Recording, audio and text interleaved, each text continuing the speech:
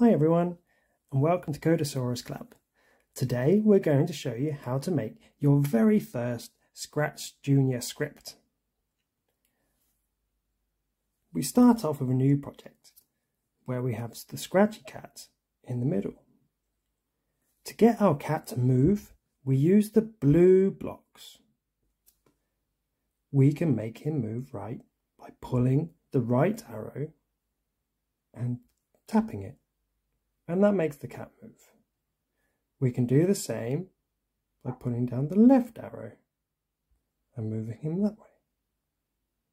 We could also go up or down. If you want your cat to do all of these things, then we can join these blocks together, just like Lego blocks. And if we touch this string of four blocks. He does all of the actions. But those aren't the only things the Scratch Cat can do. He can also spin. If I keep tapping this, he spins all the way around. If I change this number to 12, he'll turn all the way around just like a clock. I can also make the cat jump. And if I move him around lots, I can use this block to tell him to go back to the middle.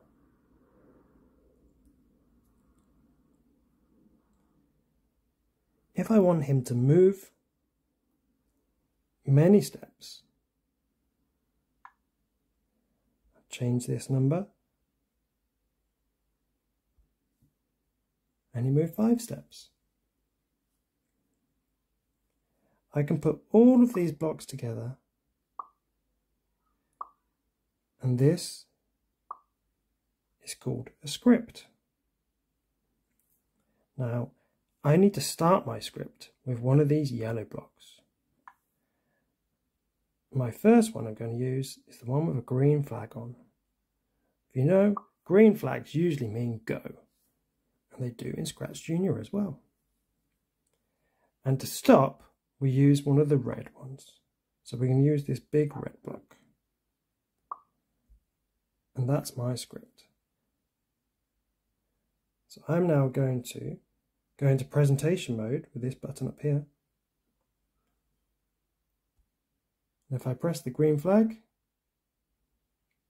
the Scratch Cat does my script.